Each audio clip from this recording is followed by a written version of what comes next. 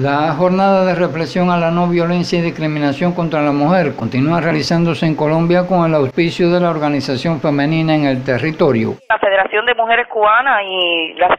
especialistas de la Casa de Orientación a la Mujer y la Familia ha ido desarrollando diversas acciones a partir de la estrategia integral de prevención y atención a la violencia de género en el escenario familiar, de conjunto con Fiscalía, Tribunal, PNR, con Salud, así como Educación y Universidad. Estos espacios lo hemos llevado a Taller de Melissa, en el Ministerio de Trabajo con trabajadoras sociales y la capacitación y preparación que hemos tenido con dirigentes de base, de conjunto con factores comunitarios y poder lograr de conjunto con la Consejería de Violencia que cuenta la casa para poder dar toda la orientación y soluciones a las problemáticas que se nos vayan enfrentando. Este proceso se desarrolla en el municipio en medio de las actividades previas al onceno Congreso Femenino. Desde Colombia, Arbelio Alfonso, LTV Noticias.